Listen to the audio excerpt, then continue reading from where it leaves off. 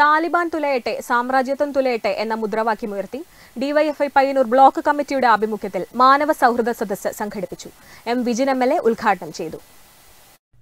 Covid protocol പാലിച്ച് നടന്ന പരിപാടിയിൽ DYFI Payyanur block president V K നിഷാദിന്റെ അധ്യക്ഷതയിൽ ഡിവൈഎഫ്ഐ കേന്ദ്ര കമ്മിറ്റി അംഗവും കല്യാശ്ശേരി എം എൽ എയുമായ എം വിജിൻ ഉദ്ഘാടനം ചെയ്തു.